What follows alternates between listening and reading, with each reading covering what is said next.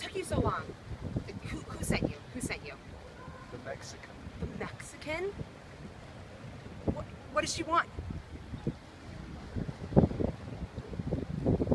Wait a minute, come back! These are the instructions. There's no way I'm doing this! Hey, so I just, I just finished meeting with them, and you're never gonna believe what they want us to do.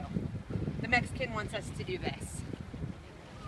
You've got to be joking. There's no way I'm doing that. I, but she wants us to steal the golden goose from the convention center. Dun dun dun.